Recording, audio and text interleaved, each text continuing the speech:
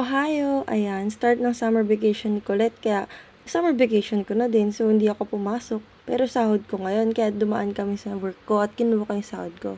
Tapos after nun, ayan, pumunta kami sa Kynes kasi si Ichiro gusto niya daw ng Bake Castella. Eh, last day na nung food truck dyan. So, ayan, pumunta kami dyan sa Kynes.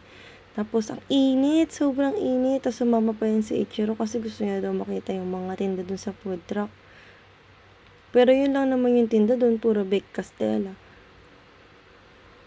Ayan, grabe, ang bagal niya pang maglakad. Sobrang init. Ayan, umorder ako ng apat na chocolate, dalawang custard, saka apat na caramel.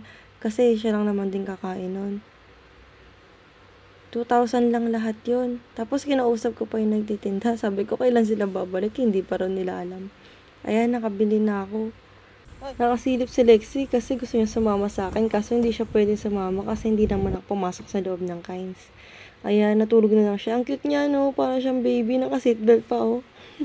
Nagulat siya kasi tinawag ko siya. Ayan, pupunta kami ngayon sa outlet kasi pwede siya maglakad si Lexi. Tapos pwede na siya ipasok sa mga store titingin ako ng mga sale kasi sinabi ko dun sa page ko na magla-live ako pagka nagpunta ako sa outlet. Ayan, si Lexi nandun na sa ano, bag niya. Tinatamad na kagad siya maglakad. Ang init, sobrang init. Walang kahangin-hangin. Magto-toilet muna ako. Ayan, tinan nyo, ang ganda ng toilet nila, ba diba? Para kayo nasa hotel. Yan yung mga may washlet yan lahat. Ayan, check. Ayan, dito na tayo sa Adidas outlet. Check natin kung ilang percent off yung sale nila ngayon. Ayan, pwede yung aso dyan. Nilalagay mo lang siya sa bag. Ayan na si Lexi. Ang bigat ni Lexi. Ayan, kawawa si Mimi kasi sobrang bigat ni Lexi. Ayan, pasok na tayo sa loob. But first, and sanitize. Ayan, pagpasok ko muna rin ako ng shopping bag. Bumili kami ng mga belt bag. Tapos si Ichiro papabili siya niyang bag na yan para daw lalagay niya yung money niya.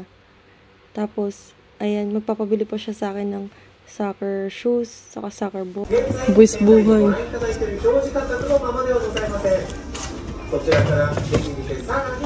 Doon ako magtrabaho dito sa Adidas. Oh.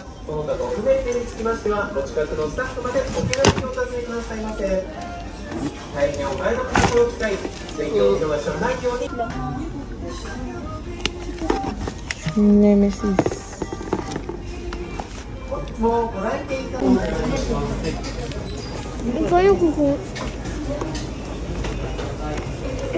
Eh, nakabayad na ako. Tapos si Colette sabi, picturean ko daw siya, i-video ko daw siya. Ginagaya niya yung statue. okay na. Tapos na tayo sa Adidas, punta naman tayo sa Nike. Tingnan natin kung ano ang sale doon. Ayun si Lexi, balik ulit siya sa ano, bag niya kasi kailangan nasa bag yung pet. Pasok na tayo. Mukhang walang tao. Ayun, si Colette, napasayo pa siya kasi ang ganda raw nung song. Walang sale dito sa Nike, pero ang sabi lang sa akin, kung birthday ko daw, may 20% off daw ako. Eh, kaso tapos na yung birthday ko eh. Ayan, bumili kami ng mga slides. Naka-itchy mga yongsang din ako dyan. Galing oh! Oh! Oh! Oh! Oh! Oh!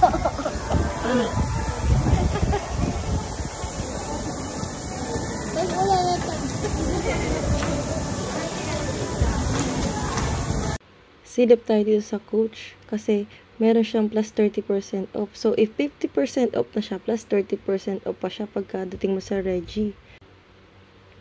Ayan, silip-silip na tayo. Check-check natin.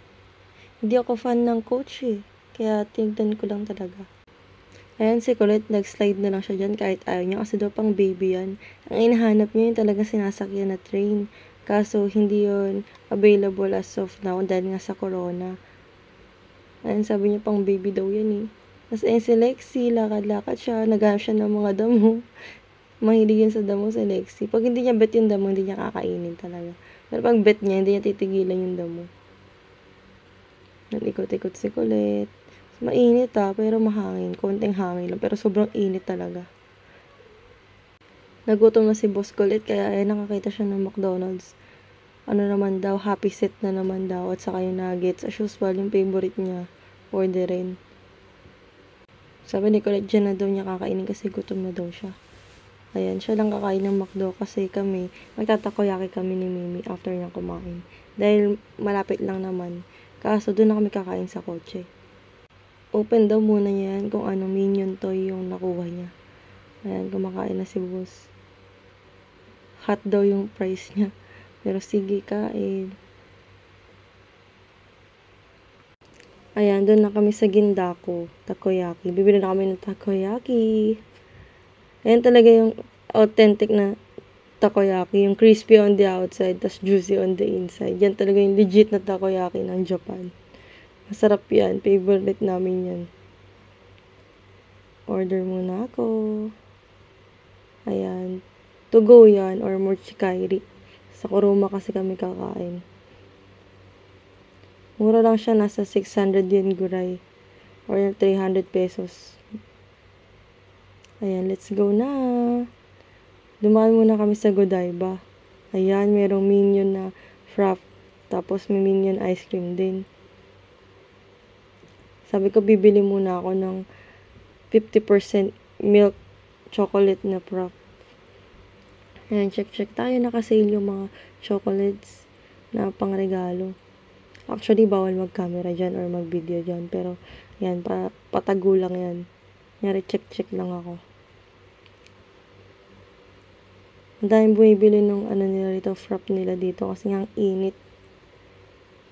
Large yung in-order ko pero parang small lang siya. Ayan, tinawag na yung number ko. Oh, na, oh, na ako, girl. Bisa mo. Ayan, hindi siya masyadong matamis. In-order ko talaga dyan yung dark chocolate. Kaso, hati kami ni Mimi dyan. Kaya, milk chocolate yan. Ayan, punta tayo sa Kuruma. Ayan, si Lexi, tinan mo siya. Oh, antok na antok siya. Gusto niya talaga lagi sa driver seat eh.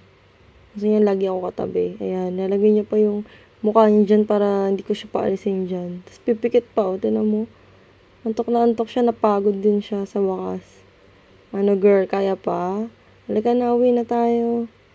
Ayun lang. Thanks for watching, guys. Bye! Uwi na kami.